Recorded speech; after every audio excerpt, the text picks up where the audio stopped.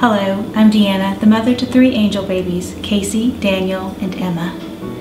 Even after over a decade of working to help grieving mothers feel more open about their losses, there is still a lot of work to be done. My journey began in 1998 when we went in for a 20-week sonogram only to discover the baby no longer had a heartbeat. So many times when we're on Facebook, we see other women getting to post pictures of their babies and get the comments and wonderful congratulations from friends and family. My idea was that on this Facebook page, we can place the pictures and sonograms and teddy bears and flower arrangements and anything we have of our babies and feel open to share.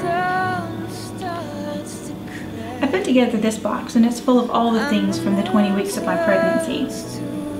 Here I have my pregnancy test. It's still positive. I also put a book together of his sonograms Back when I was pregnant, I was teaching high school, and my students called Casey the dancing lima bean. Here they drew pictures on the message board. I encourage all of you to take pictures or make videos of the things you have to remember your baby, whatever they might be. Hospital pictures, sonograms, or just flowers you planted, or teddy bears you bought. We want to see these things about your baby. We know how important they are, we want to see them. We want to know your baby's name. We care. When you post your images, I hope you'll take a moment to comment on the images or videos of other people who've come before you.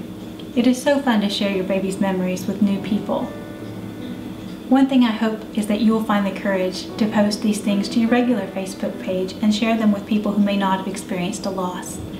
The more that other people see how we cherish and love and remember our babies even well after our losses, the more they can understand the journey we've been on.